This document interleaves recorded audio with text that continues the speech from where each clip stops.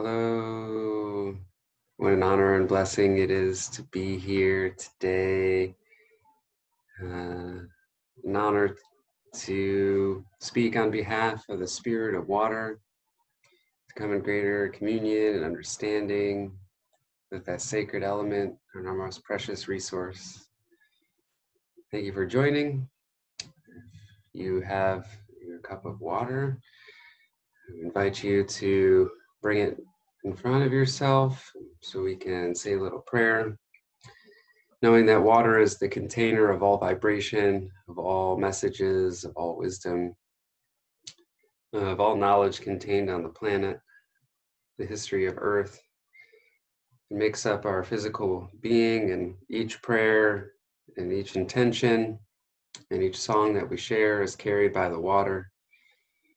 And as we drink that water, that intention and that prayer and that vibration becomes part of our physical being, altering the way our DNA forms, altering the way our proteins are, th- are synthesized and bend, changes our perspectives, changes our emotionality, really allows us to be who we want to be truly. So we take this cup and we give honor and respect to the spirit of the water, to the element of change, to the aspect that provides us our emotionality, our emotion, our energy in motion. And we know that when it flows as the water does, then we can remain vibrant and healthy. And that any energy that is not, that is stored within our bodies can be transmuted and moved out through our waters.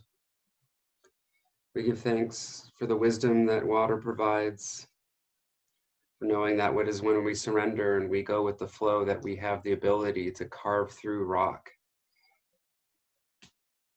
That with our persistence through surrender, that we have the ability to change our lives and the lives of those around us. We give thanks for the remembrance that to be fluid allows us to be in the flow state and truly be who we are. We give thanks for all the vitality that you provide. Thank you, sacred water, for giving us life, for providing us the wisdom and the guidance along the path, and for washing away all that no longer serves us. Thank you, thank you, thank you for your medicine. Thank you for your medicine. My intention for today is to stay grounded and present with an attitude of gratitude through actions of love. And so it is.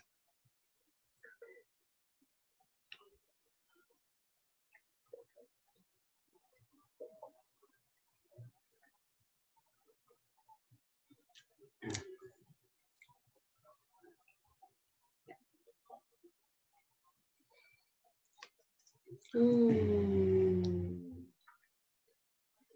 Yum. Thank you. Once again, I'm James. I'm Christelle. Together, we're the Watering Whole. We're an international holistic health hub focused on water advoc- advocacy and education to inspire sustainable self care through, creative, through creativity and education to inspire communities and bring everyone into a more holistic whole to rekindle the spirit and our connection with water in order to deepen our understanding of ourselves and how to be at one with nature. Uh, this is part three of What Are You Waiting For? Uh, knowledge shares, discussions, and we'll get started here, picking up where we left off last time.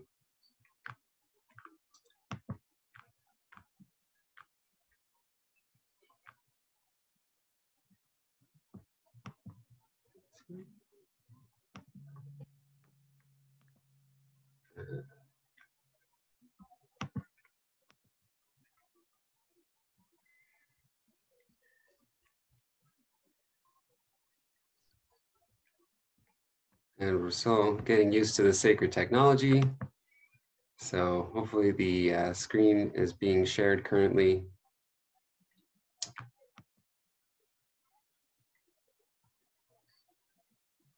And so last time we left off on water having memory. That water is the carrier of all the vibration and that that vibration is displayed in the water crystals and the water cluster formations that occur with all of the each individual water molecules being changed in and out of the water clusters in a very very rapid fashion many many times per second uh, but the super cluster the architecture the scaffolding of these clusters remain and here are some lovely crystal images that are present that have been uh, studied and identified by the University of California Davis Hydrology Institute for Theoretical Dynamics.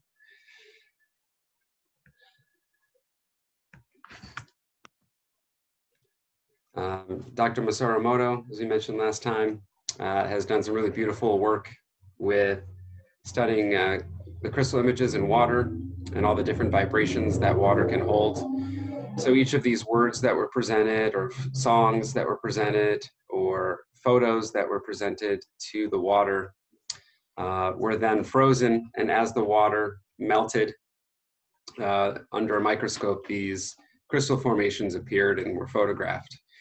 And it shows that water with positive vibrations uh, through the form of words, symbols, songs, intentions, photographs, um, as long as they're carrying a message of positivity and beauty, uh, that is being reflected into the water, and the water is picking up on its hexagonal uh, symmetry, the six-sided symmetry that forms these beautiful crystals. Uh, Dr. Masaru Emoto's work can be uh, viewed online. Uh, he also has written uh, some lovely books as well, one of which is right here. It's, the, it's called the Hidden Messages in Water. I realize my video is off, so you probably can't see that. That's okay. Uh, I'll show it at the end. It's a really wonderful book showing um, all of Dr. Masaru Emoto's wonderful work. Uh, Dr. Masaru Emoto is no longer with us. May he rest in peace. But he did some really beautiful work showing how water contains memory and it's the carrier of the vibration and this vibration remains. And even if you filter out all the things in the water, uh, the vibration of whatever was in the water still remains. So we need to do something about changing uh, the the physics of the water, the structure of the water. The water structure is so important. And so in the last video, we went over quite a bit on the structure of water, uh, what exclusion zone water is, how that's considered to be structured water, how it creates uh, hexagonal symmetry into a liquid crystalline matrix within the water, and how that's so important because nearly all of the water that's contained in bodies and healthy bodies is in this uh, hexagonal symmetry, this six-sided symmetry, and creates honeycomb sheets that are stacked on top of each other and support the the life-giving nature within our cells and within every uh, within every body. So as seen on the previous slides, what creates structured water? Uh, this is one of the questions I, that we receive quite often. And as seen on the previous slide, you can add, uh, sing to your water through music. You can play it music. Uh, if you play an instrument, you can play that to your, to your water as well. Uh, or you can just pick out a favorite song and play that. You can write symbols or put images on the side of your glass uh, that's containing your water. This could be peace signs or the Om symbol or the flower of life that we have is incorporated as part of our uh, logo here. Um, all of these will have a profound impact. You can also write words uh, such as love or gratitude, uh, ascension, wisdom, well-being, peace, these types of words uh, have a very profound impact on structuring the water. Uh, so that's a really beautiful way uh, it's highly suggested that you, you, can easily incorporate this at home just by with, with printing out photos or taking favorite photos out of magazines and putting them next to your water, pictures of, you know, dolphins or nature scenes, these types of things. Um, this is a very effective way. Uh, another way to create structured water is by using natural flow patterns. Phi ratios, that Fibonacci sequence, uh, which is so prevalent throughout nature. Uh, this is a great way to structure water. You can use uh, vortexes, so that's just spinning the water uh, around so that it creates this double helix vortex. Uh, that's very effective. There's uh, technologies available for this. Um, one of the things that makes waterfalls and fast flowing rivers and natural springs off mountains so such a potent form of water structuring and bringing that high energy and softness back into the water is because of the vortexing action. So as water goes over the fall and it comes in the bottom, it's constantly creating millions and millions of these uh, vortexes, which are spinning the water and, and the centripetal inward spiraling force of the uh, those vortexes are changing the shape of the water. It's resetting the memory, uh, allowing it to come back into its most life-giving state. Also at the center of every single river uh, is, is a spiral, a vortexing spiral that uh, is doing the same thing. And so natural flow patterns with vortexes, cycling and spinning the water is a very, very effective way to restructure your water and create exclusion zone, highly living hexagonal water. Another beautiful way is the, through light treatment.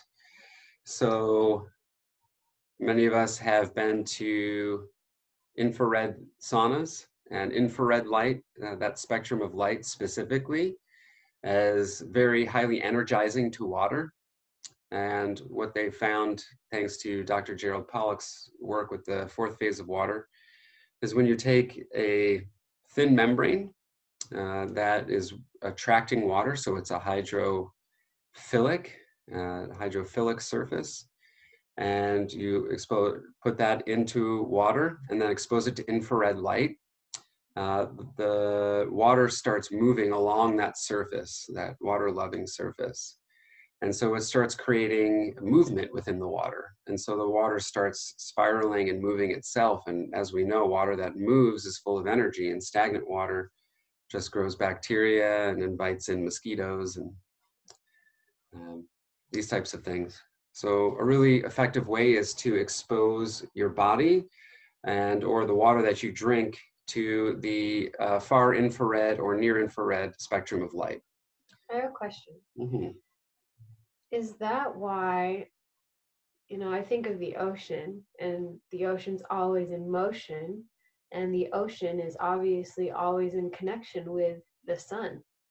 And is the sun considered infrared spectrum? Yeah, the sun creates the full spectrum of of visible light and infrared light, ultraviolet light. It also it puts off a full spectrum. So almost the entire electromagnetic spectrum is being put off by the sun. And so is that also why the the ocean is able to generate so much energy? Because there's this hydrophilic water? Yes, yeah, there's a lot of hydrophilic surfaces within the ocean. Uh, that's a complex question. And it's still not fully understood how the the the you know what is the nature of tides and what is the nature of, of the ocean movements and what is it that is limiting man's capacity to get into the center of the ocean? We've done more exploration of our moon and of our nearby planets and solar system than we have our own ocean. Mm. and so what is it that's keeping us from exploring? It's, is it the lack of technology? Is it the lack of understanding? Is it because there's something down there that we don't know? Uh, this is yet to be under, fully understood. But there's a, many components going into the movements of the oceans. One is just simply that our Earth is rotating, you know, every every 24 hours, give or take, uh, a few minutes. The Earth is spinning around on its axis, and so that's creating a motion which is carrying the tides of the ocean. Um, the sun is also every 365 and a quarter days or so uh, every year. It's circling around the sun. So it's in an orbit of that. We're also, and part of our Milky Way galaxy, we're kind of off um, towards the end of one of the arms of the of the star of the Milky Way galaxy. And so around every 26,000 years, give or take, we're making a full complete cycle around the center of our galaxy. So that's creating more motion, which is contributing to the oceans. then, of course, you have the phases of the moon. And so the different magnetic effects of the phases of the moon are pulling and pushing on the water as well. Uh, then you have the different temperature changes. So as the sun heats up the water in the ocean, um, that's being carried off and then it's mixing with cooler water that's underneath. And so that's creating more spiraling. And so there's a lot of factors that are going into the motion of the ocean. And so it's, it's rather difficult to pick one of the factors and put it in isolation and saying this is the effect it's having because there's so many factors, and even more more than I had mentioned, that are going into the, the motion of the ocean. So the Earth is pretty much a vortex yeah. on her own.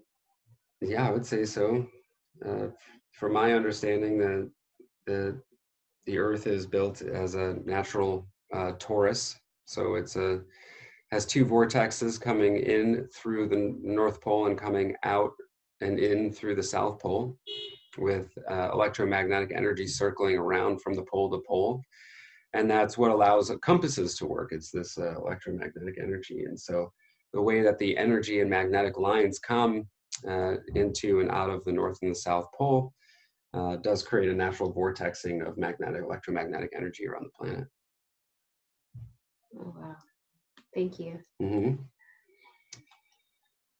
So, uh, light treatments infrared spectrum light, super great.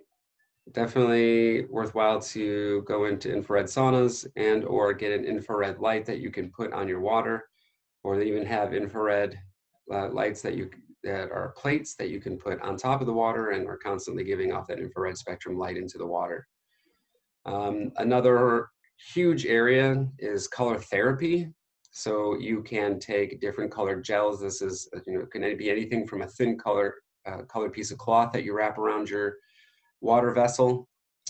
Uh, you can take um, colored plastics, not that I condone the use of plastics, uh, but you can put a, you know, the, a type of gel similar to how they would use in a theater to, to change the color of light. You can put that over your water bottles or your whatever water vessel you're having. Um, and each individual color is going to have a different effect. And this is kind of a, a, a, whole lesson in and of itself is all the different colors and different therapies that they could have. You know, even the color red, like the shirt that I'm wearing today, um, all the different hues and shades and contrasts within the color of red will each have a very different effect on the water. And as it's being drinking, uh, it will have a very profound effect on whatever's drinking or using that water. And so it's a fun thing to experiment with, or if you want to do some further uh, education and research into the different color therapies, I would highly recommend doing that. Uh, my intention is to make another video, uh, for us to make another video, going over the, all the different colors and the color therapy uh, modalities and options that are available out there, specifically when it comes to water therapy, and how just with changing the, the color that goes into your water, how you're able to create all kinds of very profound effects. Healing, emotion release, uh, specific targeted to specific organs or um, specific uh, uh, emotions or traumas that the body may be carrying.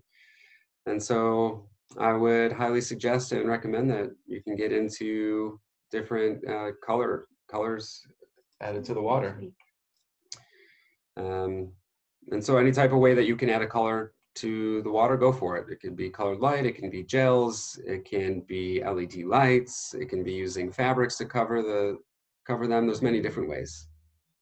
And that's uh, that, that's a whole huge, beautiful topic amongst itself. And I fully see the future of medicine coming down to water and color therapy. It has such a profound potential that is yet to be fully explored and tapped into. So I'm excited, excited for the future of that. Uh, another really important thing is ultraviolet light, UV light. As I mentioned in the first part the video of what are you waiting for, the different filtration types that are out there, uh, UV filters or ultraviolet or using ultraviolet light. So that is the higher vibrational frequency of colored light that is beyond the visible spectrum of light. Um, that ultimately kills the life-giving ability of water. So anything that is living within the water ultimately dies. So that's bacteria or viruses whenever it's exposed to UV light. And so it's not actually killing the water what it, or killing the bacteria, or the viruses, it's killing the life-giving capacity of water. This is when we know this in a pretty intimate way because most people in sunny areas or during sunny days will wear sunglasses, sunshades. And so that is protecting the, the ultraviolet light uh, from your eyes. And as we know, your eyes are one of the most water laden organs in the body, consisting of about 93% water are your eyes uh, by, by weight. And so if the ultraviolet light is not good for our eyes, being mostly water, then it's obviously not good for the rest of your body. And this is why people wear sunscreen and it's not good to get sunburned and it's all because of the ultraviolet light. So uh, this holds true for the water outside of our bodies as well. Uh, it's really important uh, to get UV protection into your water bottles. And so there's multiple ways of doing this. Uh, with those who are familiar with uh, medicinals and herbs and tinctures and preparations of that nature, are familiar with using brown glass or UV glass or um, Miron glass uh, is another name. Um, and so there's many different ways and types of glass out there which will naturally provide an ultraviolet protection from from the, to the water. And so that's definitely worthwhile uh, seeking out. Uh, you can also use copper water bottles um, is another great way uh, to provide UV protection because the ultraviolet will not penetrate through the, the copper if you're using copper. Uh, copper is a metal which is really great with water. It has a lot of history going back to ancient Ayurveda in India as well as Chinese medicine. And even the native peoples here in North America um, have a long and respected history using copper uh, vessels when it comes to water.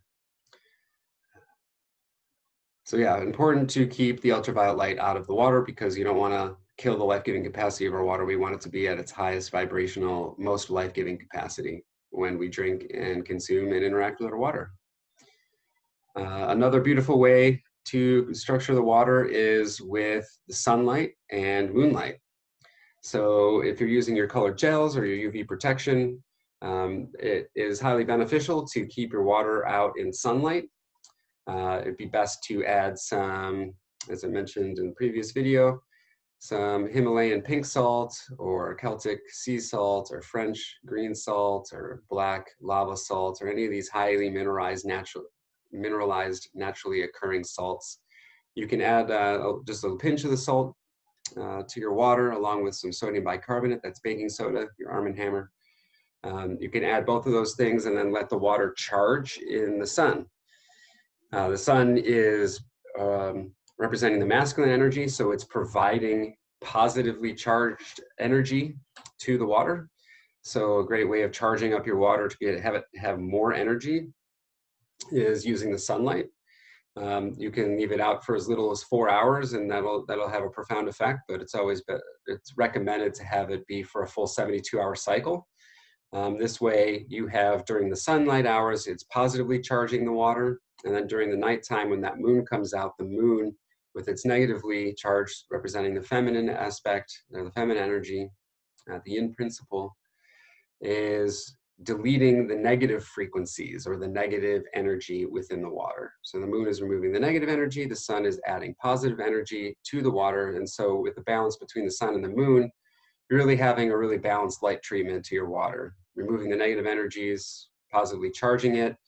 Um, when you're blocking out the UV light, then you're having more of an influence of the infrared spectrum. And then if you're using a colored gel, you can experiment around with that or do some research and figure out which exactly is the color that would be most beneficial for you. and if there's ever any questions, please feel free to reach out in the chat and we'll, we'll keep going. Another beautiful way to create structured water is using uh, colloids, crystals, and gemstones. Uh, so uh, a colloidal solution is a solution that has very small parts per million or ppm. It's a very small amount of, um, uh, of specific metals that are suspended in a solution to the point that they don't ever really come together and clump and congeal. So a colloidal suspension is a liquid suspension that'll have some type of metal and uh, mineral basis in it, and it will stay in that liquid state without ever having any settling or without having any of that particulate matter uh, get stuck to the sides or the surfaces of whatever container it's being held in. So it is a uh, loose, uh, very diluted uh, solution of generally precious metals in a water solution. And so colloidal silver is probably the most famous. It's available at pretty much every single health store or drugstore you can find. And so, but just by adding a, a touch of that or taking even colloidal silver or colloidal gold, uh, platinum, the uh, monoatomic gold, silver, platinum, uh, anything in the precious metals groups is really gonna be beneficial in keeping the structured water, the liquid crystalline matrix of your body intact. But then you can also add it to water and that'll start structuring the water as well. Uh, another great way is to use uh, minerals. And so uh, something like shilajit is uh, pretty potent, uh, as well as you know adding some um, some minerals that are going to be water structure enhancing minerals. And there are quite a few of these around. I'm trying to find a little spot here in a book which lists exactly which ones they are. Yeah. So the most beneficial uh, ions or minerals to be adding to the water which uh, make and structure water are calcium, uh, lithium in very small quantities, sodium, zinc, iron, copper, gold, platinum, titanium, silver, and nickel. And so all of these are carrying an ionic or an electric charge, which provide the water and allow it to make more hexagonal structures. So make provides a more highly structured state to the water. Uh, whereas there are other minerals which will take away, and that is potassium, uh, rubidium, chloride, bromide, iodide, fluoride, and uh, the, the worst of them all is being aluminum. And so one of the big issues with aluminum cans and um, you know both with food canning and drink canning is mostly made of aluminum is it's really destructuring all the water and so the canned foods that you get uh, out of the can that's been sitting in that aluminum can is really taking away that life-giving energy within those foods and so while it's still maybe you know not growing mold and not having bacteria growth in the food it's really taking it away. Uh, the life-giving nature of that food by destructuring the water within those foods or destructuring the water within those uh, cans. So even the canned ciders and some of the canned fizzy drinks that people really love uh, to drink especially those seltzer waters which are pretty popular in the in, in aluminum cans are, are really having issues because the, the constant interaction with the aluminum is destructuring the water within within those cans. As well as the plastic. As well as plastic yeah. And all of these uh, like chloride fluoride they're put in water. Yeah they're, they're put in water to destructure the water. Wow.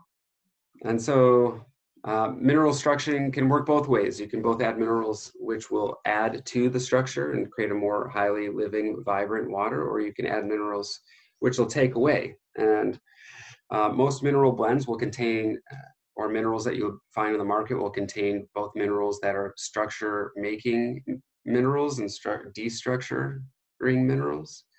Uh, but it, it's always important to make sure that when you're adding minerals, you're adding a greater percentage of minerals that are structure making than are destructuring. So as long as you're in the positive for structure making minerals, then you're good to go would you be able to go over what Shilajit is as well? Uh, yeah, Shilajit is an organic compound which is found primarily in caves um, and glacier regions of the planet.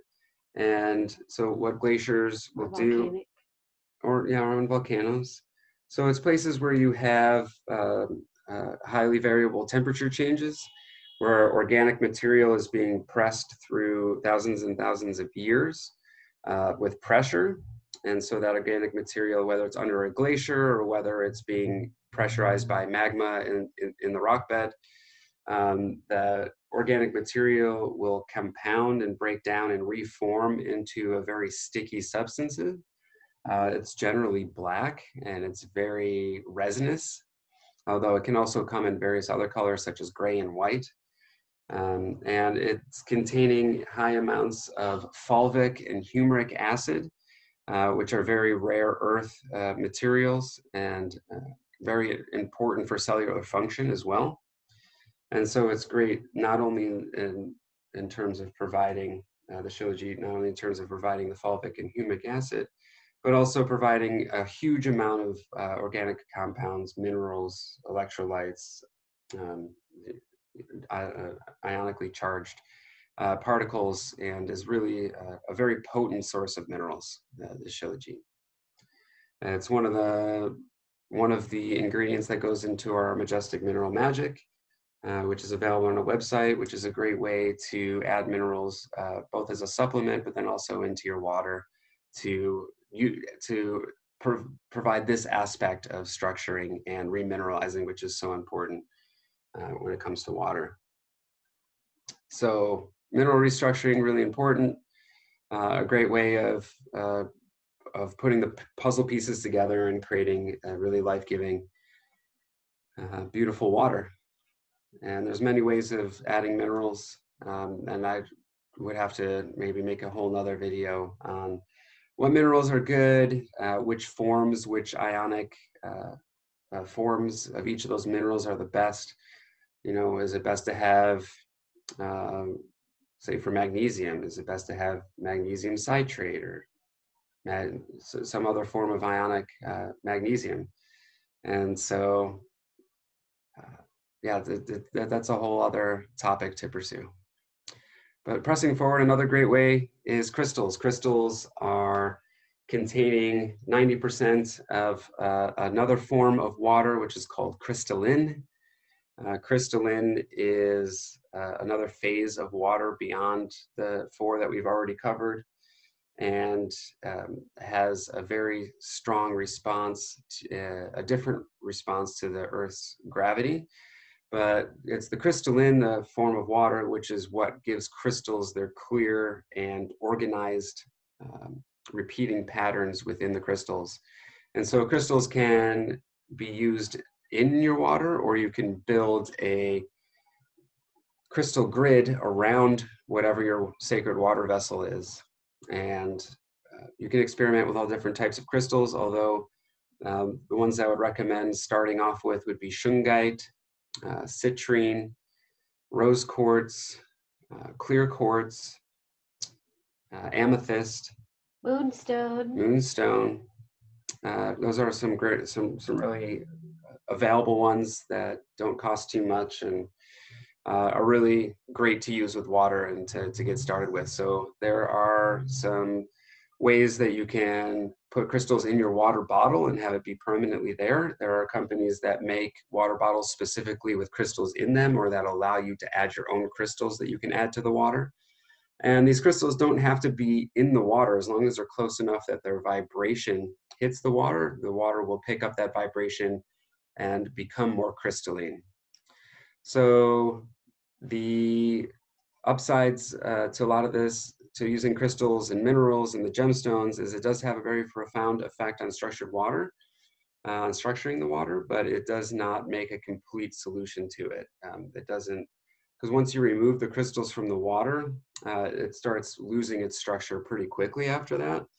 And uh, the minerals themselves aren't going to completely structure the water. They're only kind of adding the, the foundation, but the rest of the house needs to be added somehow. And that's usually through vortexing or music or symbols or uh, these floor pat- uh, flow patterns and, um, and a, a, variety of these other ways, which I'll uh, be going into here. So uh, nature performs endless state changes. So whenever water is going through a uh, phase change, that is uh, from solid into liquid. So when ice, glacier ice, uh, or snow melts back into liquid water, that is a really beautiful way to drink water because when water is uh, frozen into ice, it becomes hexagonal. Almost all of the ice on the planet is uh, hexagonal, structured honeycomb um, water. And so as that water melts out of its out of its hexagonal pattern, and it's been held there for quite some time, uh, it remembers that pattern and it re-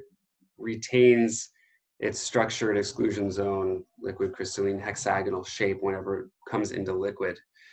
And so there are many places around on the planet where there are people drinking just this glacier melt water, and that's their only source of water. And they all have average life expectancies of well over 100 years in those areas. So areas in Siberia and in Russia and uh, some Inuit people uh, in the North Americas and people in uh, the Himalayan mountains in Pakistan and Nepal. Uh, people are drinking this really beautiful glacier meltwater are having highly structured water that's also containing minerals and it has low levels of the shilajit already in, in the water. And so it's a it's a really beautiful beautiful way. So that going water putting water through a phase change is another way to structure the water so you can take nicely mineralized water uh, keep it frozen uh, for over a week and then when you melt that water again um, that is some nicely structured water uh, whenever liquid goes into a gas, so it's going back into vapor, um, that is allowing the water uh, to, go, to go into a phase change. And then whenever you're bringing it back into liquid water, so that's water that's condensing, that is um, structured water again. And so this is why we see snowflakes when they fall out of the sky are always in that hexagonal crystalline exclusion zone structured water state, that beautiful six-sided symmetry uh, to the snowflakes, because that's when the vapor of the air is condensing in the cloud and then it's forming again as water. And so that's why we always see snowflakes with that six-sided symmetry because it's uh, it's structured water that's coming out of there. And whenever water goes through these phase changes into the exclusion zone, uh, fourth phase of water, plasma water state, um, into gas, or from gas into exclusion zone, or uh, liquid into exclusion zone, or solid into liquid. These are all the phase changes, and all of that is purifying the water. It's helping to reset the water's memory vibrationally, and it's creating exclusion zone water. Is that the same for when it rains? Yes. Yeah. Is the water that comes from when it rains also very structured? It is, yes. Okay. But because there's all these different frequencies, electric frequencies, than the water. Yeah, we have thousands and thousands and thousands of satellites constantly floating around the sky, shooting electromagnetic signals so down, that's the down same for snow too. Yeah, and so this is having an effect on all of the rainwater that comes into our planet. It's becoming electromagnetically radiated water. And um, the reason that rainwater is good for plants that are being grown in soil is because the soil is containing the negative energy, the yin principle from Mother Earth. And that's combining with the positively charged rainwater that is coming from the atmosphere, which is positively charged. And so the positively charged water gets balanced with the negatively charged uh, ground or the soil that the plants are being grown in. And that's why plants love growing in, with natural rainwater. Oh. But whenever you have rain catchment, so you're catching rainwater and you're storing that, it's only ever having the positive. And so, unless, unless you're a highly grounded person who's walking around barefoot all day or having uh, a good meditation and grounding practice, then we typically don't carry the same negative charge that the earth carries. And so when we drink just that positively charged rainwater, it's it's a it's not having the right mineralization, so it's not having the correct minerals because it hasn't had the chance to absorb minerals from the earth because there's not minerals up in up in the atmosphere. Uh, so it's not containing the right minerals, and then it's not having a balanced charge. So it's coming into our already overly positively charged uh, uh, human bodies with the positive charge from from the atmosphere, and so that's not creating the most hydrating water uh, possible when we're drinking rainwater. Well, a lot of rain catching systems are in the desert, though, so it would be. pretty convenient. Yeah, definitely. And then there's ways to use that rain catchment water and remineralize it and then put it through a vortex or something. Um, you know, pray over that water, sing sing to it and bring it back into an alignment and then it's certainly usable. Amazing. Yeah.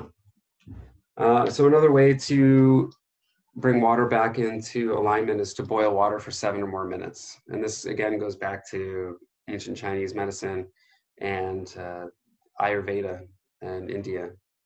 So when you're able to boil water for seven more minutes, the boiling of the water creates all these vortexes. Uh, it has air exchange where those uh, bubbles are forming. So it's constantly exchanging the hydrogen and oxygen within the water and the air. Uh, this is a process called burning. It's one of the anomalies of water, is that it's constantly exchanging hydrogen and oxygen from the air with the water molecules. And so it's having this high turnover when you're boiling it. And then temperature is another uh, way of structuring water. So if you bring water down uh, in into its ice state, uh, so going from a liquid into a solid, uh, it starts condensing until it hits four degrees um, Celsius or about 39 degrees Fahrenheit, and then it then it starts expanding. And so that's another one of the anomalies of water is that the water expands as it gets closer to freezing after it reaches uh, below four degrees Celsius. And so temperature is another way uh, through boiling the water by bringing it into ice, or if you can take water and supercool it, um, you can supercool water uh, past the freezing point and it will stay in its liquid state. Um, then that is another great way of structuring water too, is through just through the use of temperature. Why seven minutes? Uh, that's just the way ancient Ayurveda says it. Got it. and Chinese medicine agrees. So there's something to that. I don't know the exact scientific principles behind why seven minutes, but If you boil it for longer, is it still okay as well? I mean, eventually it'll boil off, right? I mean, all the water will turn into vapor, and then you won't have any liquid water left. All right. But I think the seven minute mark is, uh, from my understanding and what my intuition is telling, is that there's enough of an of a turnover within that boiling water that the water from the bottom comes to the top and mixes with air and then com- re- reforms water and it's constantly doing this as it bubbles. Uh, so as long as it's at a rolling boil for over seven minutes then it's getting almost all of the water uh, going through that process of burning and exchanging atmospheric hydrogen and oxygen with the water. Um, so another great way to create structured water is through the transmission of biological life energy. So this is as simple as taking your shoes off and being barefoot on the grass or in the sand or in the dirt or in the desert or wherever, wherever you may find yourself. So just earthing. Um, the water itself, just by placing water in sand or on the earth, will be able to pick up the yin principle, the negative ionic charge from the earth, and that helps to structure the water. Uh, another thing is just spending time with children. Children are uh, have way more or a greater percentage of not only water, but a greater percentage of uh, structured water in their bodies. And so, as we age, the older and older we get, not only is the amount of water that we have in our body in terms of weight percentage of our body being less and less water, uh, it's also less and less structured water, uh, exclusion zone, hexagonally uh, organized water. Is that the same for animals? Yeah, and so that's why hanging out with your your pet is so is so grounding and so energizing and so relaxing and nurturing because animals are not having the same type of ego that we have. They're not being caught up in the ifs and shoulds and could haves and would haves and things that really tie us up as humans. And so they have a greater connection to this grounding earth, yin negative uh, ionic charge. And so hang, spending time with your pets, you know, your cat, your dog, your mouse, your ferret, your rat, your pet orangutan, whatever it may be, uh, was another great way. Um, going and hugging a tree. Trees uh, have this beautiful ability uh, to transmute the positive yang energy from the atmosphere and the yin feminine energy, uh, negative energy coming from the earth. And so they're a conduit uh, because they have the roots that go down in and then they have the branches that reach up into the sky. And so they have this beautiful way of exchanging and balancing that energy. And so just by going and spending time hugging a tree sounds pretty cliche and pretty hippie but uh, it has scientifically proven to benefit uh, to benefit humans and to balancing the charges. It's it's been it's scientifically proven to do that so go hug a tree, spend some time with some kids, hang out with your pets, be barefoot uh, on the beach or in the grass or wherever you may find yourself. And this is uh, a really beautiful way of structuring the water in your body, but also keeping water structure that you wish to drink or consume or use in your cooking or bathing or whatever it is. Uh, the next one is been shown by uh, Dr. Konstantin Korotkov in Russia to have the strongest effect upon water structure as the human intent and emotions. So the emotions that we present to the water, the words that we use, the language that we use uh, that create up our thoughts and our thoughts create our reality. Um, the, the, how we pray to the water, how we sing to the water, this has the strongest effect upon water structure. Uh, there was an uh, lake in Japan, which had become horribly overrun with heavy metal and industrial runoff from nearby factories. And the oxygen, dissolved oxygen levels in the water became so off that it was just became this algae bloom, and all of the fish started dying. And uh, the local government tried to do some cleanup projects with filtration, and that just simply didn't work. And so what was happened is they, um, these Buddhist monks uh, came and organized uh, 3,000 participants to sing and pray over the water for it to be healed. And so they sang songs and they gave prayers, and 3,000 people came collectively together to the lake and spent eight hours praying on the water. And within two weeks, uh, they came back and, and when they tested the water, the heavy metals and the imbalances and the, the, the, toxic pesticides that they had tested, the levels were almost back to normal. And so just through the power of intent, they made those disappear. Mm-hmm. You know, they didn't go anywhere, it's, they just disappeared somehow. And it's specifically when people come together. That's the strongest force. Yeah, where, where two or more of you are gathered, I'm there also. It says in, in the Bible at least. And uh, so yeah, it's the power of collective prayer. I mean, we're we're all uh, a spark of the the one source consciousness or the the initial initial Big Bang vibration, or however you want wish to frame it or view it in, in, in your mind. And so, whenever more of us come together, we bring more parts of a unified whole. It's similar to if you have a single twig, if you try to snap that twig in half, it'll break. If you bring two twigs together, it's a little harder. But if you bring 40 twigs together and you try to break all 40 twigs at once, you can't do it. It's too strong. Mm-hmm. And so there's this compounding effect when we bring our energies together. And that's not to say that the power of one individual isn't as powerful as the whole universe. I mean, it can, it can be 100% that way. But yeah, there is a there there is truth and a, a increase in magnitude when we come together and unify our thoughts, our voices, our vibrations.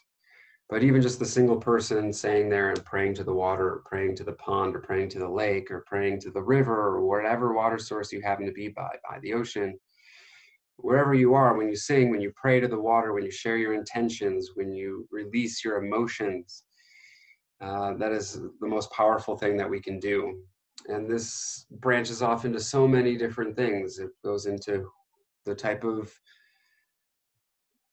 the type of community that you live in um, who your neighbors are uh, the, the people that you sit next to at the restaurant when you're eating if they're arguing how that has an effect on the food and the water that in your body. Uh, the type of uh, the type of friends you have um, the diet that you have in terms of the movies that you watch, the TV shows you watch, the type of music you listen to, uh, the types of video content or images that you take in through your sacred eye portals. Um, all of these things have, have a huge amount to do with the structuring of the water in not only inside of your body, but also in the, the structure of the water of, that you wish to use for drinking and cooking and bathing and growing your food and feeding your children. So more on that later. Uh, the human intent and emotion being the strongest and best way to structure water. Uh, the next one is hydrophobic in living foods. So all fruits and vegetables and fungi and bacteria and all these things are all made from structured water. So this is why eating an apple is going to be more hydrating than drinking a bottle of water or a tap water because those are not living hexagonal exclusion zone structured water. Whereas all of the fruit, all of the water inside your fruit, or all inside your vegetables and your avocado and your lettuce and your cherries. Especially when they're organic. Exactly. They're all contained of structured water. And not only that, but they have all these hydrophilic surfaces. Hydro meaning water, philic meaning loving, philos. Um, so hydrophilic means that it loves water. And so all of the parts of these plants and fungi and fruits uh, they're all containing these hydrophilic surfaces as well as structured water. So not only is it giving you water in the biological format that your body already uses it in, which provides a energy savings uh, to you, so the body doesn't have to break down the water and reform the water in order to use it in the cell. Um, it's also containing this hydrophilic surfaces as water-loving surfaces, which help retain the structure of the water and help the body to retain the water that it needs as well which is increasing uh, hydration. So this is why it's so beneficial to go on juice fasts or eating, uh, you know, raw organic uh, plant-based diets. Um, because you're getting all of this hydrophilic and all of this structured water directly from the food that you eat. And so it is possible to stay fully hydrated simply by eating foods that are hydrating. And so one of the metrics that I, have come up with uh, in order to determine if uh, you know a, a, beneficial diet is is the food that I'm eating containing greater than, less than, or equal to amount of hydration than than my body has. So when you eat, say, chips, chips, are chips having more or less water than in our body? Less. Less. Definitely less. And how about a cucumber? Is a cucumber having more water or less water than we have? Well, we have more water than any fruit. No, by by percentage of weight. By percentage of weight? Yeah. I guess the cucumber. The cucumber has more water than me. At ninety-four percent by weight, it has more has more water more more water by percentage than you. So, just a, a one way to consider, uh, you know, eating food or approaching diet is is this hydrating me or dehydrating me? And so that's a been, been a very useful metric for for creating a living healthy food diet. Hydrate or dihydrate? Hydrate or dihydrate. That's it. Um, another great another way to structure water is through magnetic fields um, with the appropriate use of fields of magnets, you'll be able to vortex, uh, ionize, and change the water into a more visible spectrum. Um, so there's a lot of ways to, uh, there are a lot of technologies out there which use magnetic force in order to structure water. Uh, they, some of them can be very effective. However, the downsides of this is each place that you are, even within your own home or within your own city, or even within, you know, if you go into the forest and you start walking around the forest, every little individual area will have its own magnetic field and specific magnetic field. And so if you're using magnets to structure the water, you have to be in an area that you know that has a, stable magnetic field. And then if you were to take that magnetic uh, structuring technology around, every place that you move will have a different field. So it's slightly changing the magnetic field, meaning you're not getting a complete and full uh, magnetic structuring. The only way to do this is if you have the magnetic field housed inside of some type of metal, which is um, blocking all outside uh, exterior electromagnetic fields, such as gold, uh, titanium, um, silver, uh, rhodium, uh, chrome, platinum, you know, these types of uh, precious metal groups, metals will be able to insulate uh, from outside electromagnetic fields and allow the magnetics to work uh, internally in 100% efficiency. However, I've only seen a few of structuring technologies that use magnet magnets in this way in a shielded, fully magnetically shielded way. Um, another downside to the magnets though is after a while um, and exposure to other varying magnetic fields, the magnets themselves lose uh, their charge and so they just stop working effectively after a while. Uh, so magnetic fields is another way of charging uh, uh, and creating structure in your water. Um, I would not recommend just taking magnets and putting it up to your water because that is an unstable magnetic field. Uh, you have to have a very aligned uh, magnetic field in order to do this. And uh, I can go more into that later in a different in a different video as well. Just trying to give an overview of what creates structured water. Another great way is minerals, salt and baking soda, as I mentioned. You can add a mineralized salt. Um, you can add you know, minerals that are being sold specifically to mineralized water and then take baking soda, uh, sodium bicarbonate, because uh, sodium bicarbonate is the best way to add alkalinity to the water. It's cheap, it's effective, and it is Natural. yeah, completely natural way to do it. Uh, another great way to create structured water, and the one that we uh, are promoting, is technology. Uh, there are many, many different structured water technologies out there, and the plus side to structuring water technology is that there are uh, lots of lot, lots of uh, advantages because you don't you can use lots of volume of water at once and have it all be structured, which is very difficult to use with many of these other uh, forms uh, without the use of technology to, to do it all at once. Um, you can do it on the spot and uh, you can do it endlessly without having any parts to replace or things to repair. So that's uh, some of the ways to create structured water. There are some more, but I think that's what we have for time for today. Uh, thank you so much for joining and for listening in. It has been an honor to have this knowledge share. And we love you so much. Uh, we'll pick up next week with Water You Waiting For? Part 4 the many benefits and uses and applications uh, for structured water today in terms of industry, in terms of cooking, in terms of health, in terms of improving the environment. Uh, lots of things that can be improved and with the use and implementation of structured water. Thank you for joining us. It's an honor and blessing to share. We love you. We And we'll- you. See you next time in the next video.